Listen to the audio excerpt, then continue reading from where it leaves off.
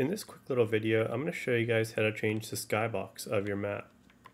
So you can see here we have the classic last resort skybox, which is really nice, but let's change it out. So to do that, open up your scenario and click skies.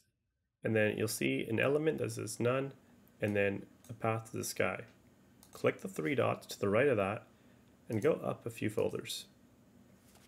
You can choose a skybox from any other map. Uh, you'll see here, if you click that, Salvation, Sky, and you can just select it and you'll notice nothing changes. That's because this requires a map reset. So at the top here, click Scenarios and click Map Reset. Now you have to wait a little bit because it's redoing this little bottom left window and this one you could see is kind of foggy um, not the best looking one, but one I really like is from Lockout. So let me show you guys that one.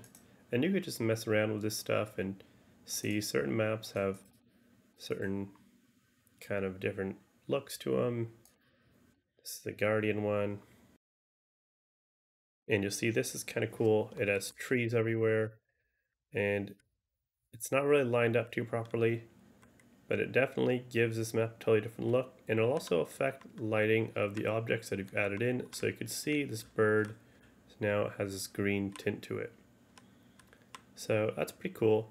Um, but yeah let me just go ahead and show you guys one of my favorite ones and we should be good then. So in DLC you can use all these DLC ones as well. And in addition if you go up to tags objects, there's a actual folder for skies that has some different ones here.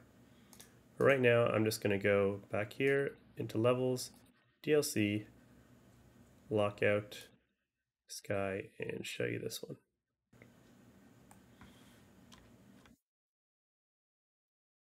So there we go. It's kind of a nighttime look and pretty cool looking. And yeah, so that's it for this video and stay tuned for the next one.